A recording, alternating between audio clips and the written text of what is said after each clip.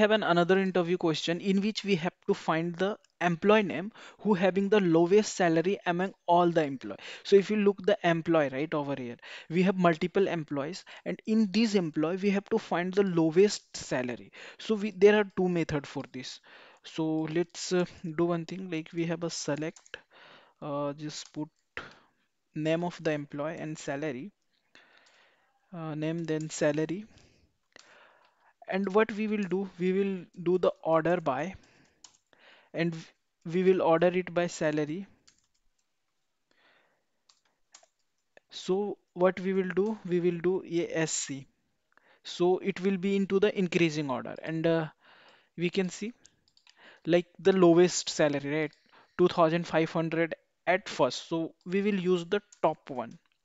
By giving top one we will get the first sal means low, lowest salary. But if there will be condition like don't use the top one then what we have to do? We have to remove this and we have to use the function over here min cell. So just use min.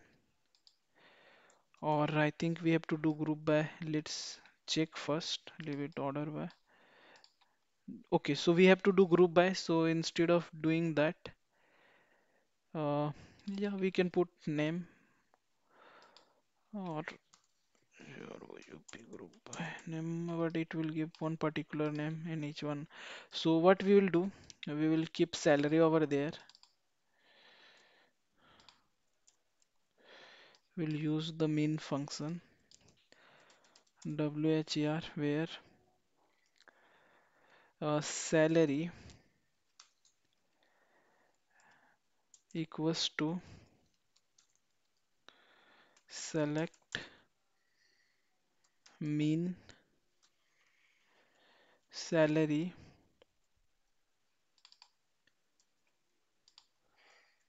and we will do from a statement.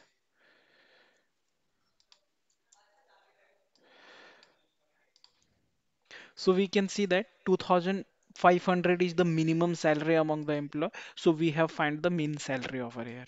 So this way we can find without using top one logic. So if you don't if you don't ask to use the top one logic, we can use this where condition. We can put salary in salary we can put the mean select mean salary from that particular employee and we can place into the where condition. So we will get the mean salary.